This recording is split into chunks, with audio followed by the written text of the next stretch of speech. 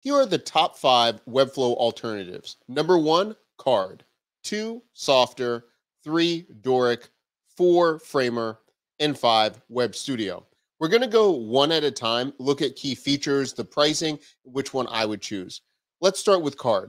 This is a platform where you can create simple, free, responsive one page sites. They're beautiful, they're very easy to create, and allows you to build your brand very easily and without much fluff. Now, the drawback is you can't be having multiple pages. It's made as a one page site. But if you want something that looks very professional and easy to use and manage, Carrd is where it's at. If you want something a little bit more advanced where you can create also web apps and a website if you choose to, Softr is a great option.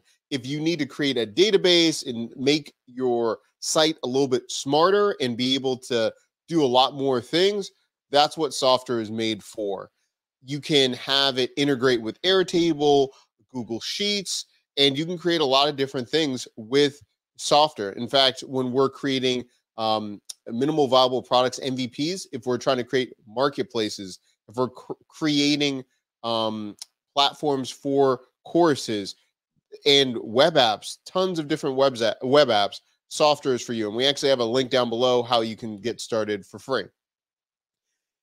Dorik is an option if you're going to be looking to create websites and especially if you're looking to become an agency or you are an agency and you're trying to scale and manage multiple websites for a client, Dorik is a great option for agencies as well. For Framer, this is probably the closest thing I would say to Webflow in how robust it can be.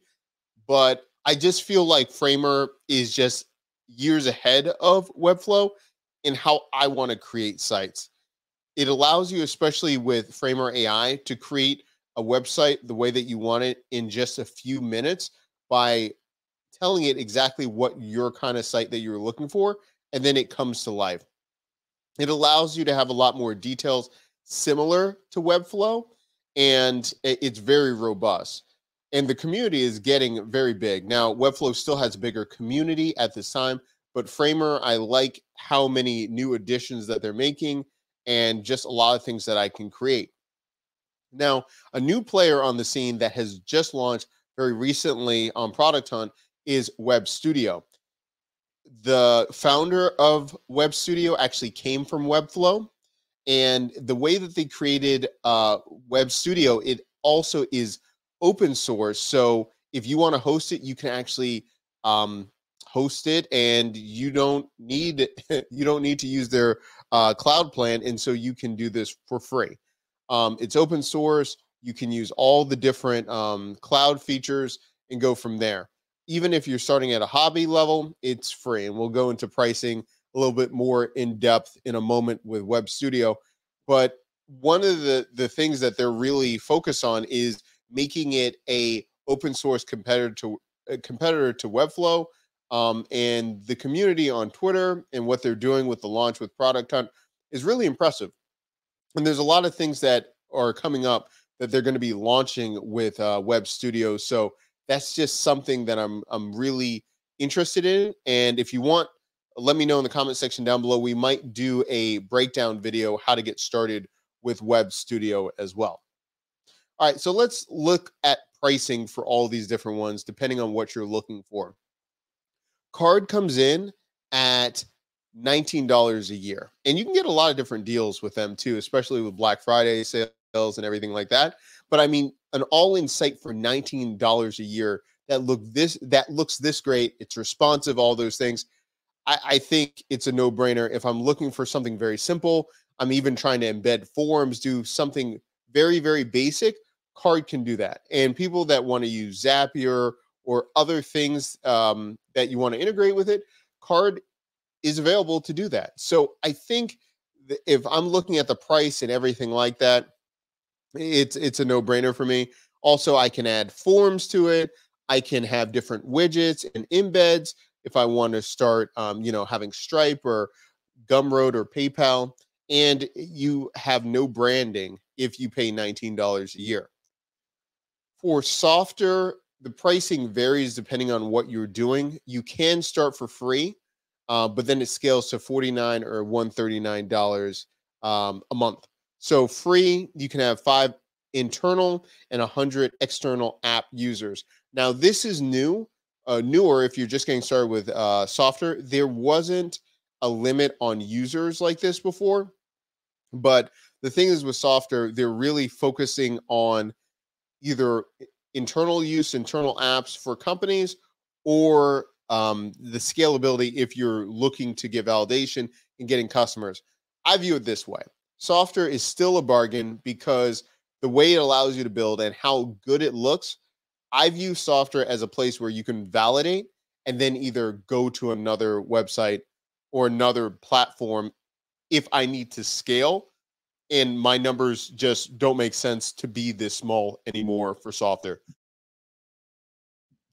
That being said, I still think it's a great option if you're going to be building a website to get started, you're going for validation, all of those different things. Softr is very, very powerful, including their marketplace uh, templates, what you can do for client portals, what you can do for job boards, all of those different things. Um, I, I'm just, I'm still a huge fan of Softr. Just depends on the use case that you're looking for. For Dorik, if I'm going to be looking to scale it and have an agency, I mean, it's $29 a month to have 20 to 25 to 250 custom domains at $29 a month, unlimited pages, unlimited collaborators.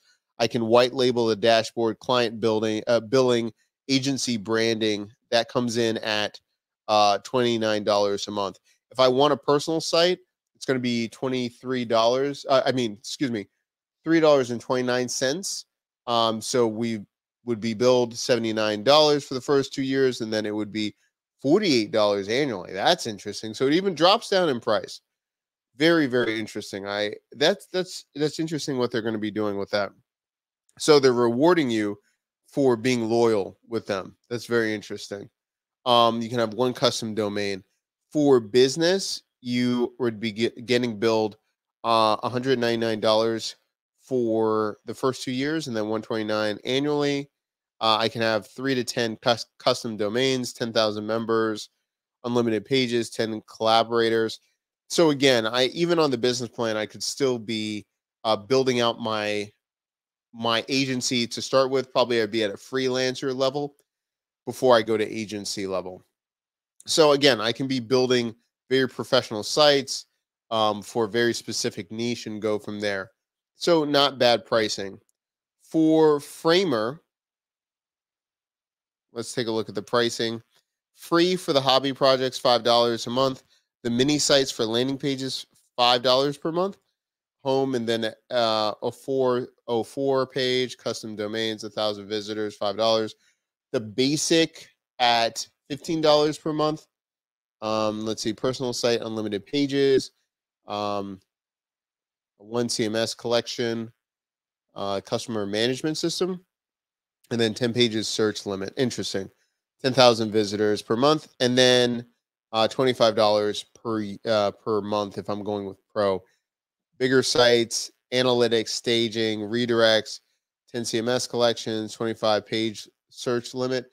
Um, I, I again, I would probably just it depends on what you're trying to build the the advantage of framer is if i'm going to have a lot more uh, i want more control of the site i want something very specific i would that's that's what framer is for very similar uh, to webflow um, but i just find that the workflow is i just enjoy it more um, so that's interesting that's interesting that's for framer the pricing depends now let's talk let's talk about um, Webstudio. Again, um, I, I touched upon it before. Um, for the hobby level, five custom domains, 10,000 page views. Look at that. At the hobby level, 10,000 page views. If we're just comparing like, you know, the pricing, of course, Framer has a lot more to offer at this point because Webstudio just got started. But if you look at, let's see, 10,000 visitors, $15 um, for the basic plan, it's free here. 500,000, which is the pro level. We're looking at, you know, 100,000 at 25, right? So looking at the prices, it's going to differ a little bit. This is when we're doing the cloud uh, plans. If I go and host it myself and I self host it, um, I can have everything and it's going to be free. It just says limits depends on your hosting, which makes sense depending on how I'm hosting it and everything like that. So that's what I would be looking at. Their features pretty basic. I would probably look at their roadmap because this just launched relatively, I mean, very recently. So for Webstudio, I would be looking at some of the things that they're looking to do this year. For example, integrations, databases, UI kits, Figma token syncs, which is interesting. Uh, CMS versioning later in 2023, real time collaboration, interactions, and animations. So again, it's just just getting started. Uh, but again, they're looking to be a competitor for uh, Webflow and in going from there. Now, if I'm going through all these, which one I would choose, it really depends on what you're trying to create. Carrd, if I'm trying to be a professional freelancer or I'm trying to have a very concise brand that is easy to maintain and I'm just getting started out, Carrd would be a wonderful choice. If you're a consultant, if you're doing any of those things, Carrd would be a wonderful choice. If I'm trying to build out an MVP, a minimal viable product, I'd probably go with Softr if I'm trying to create a basic marketplace to get validation to get my first 10 to 50 customers and try to go this route if I'm raising funds or if I'm bootstrapping. I view Softr as a great option.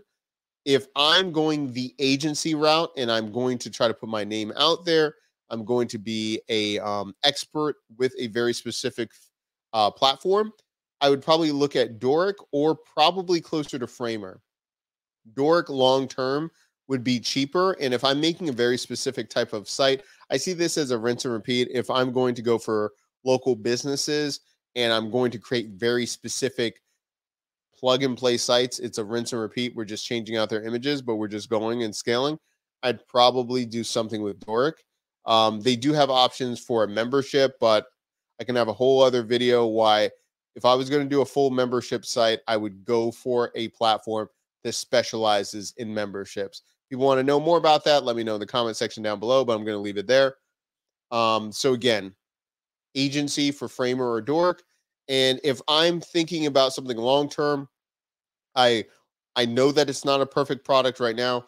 I want to be a part of a community similar to Webflow, but I am focused on helping something that is open source.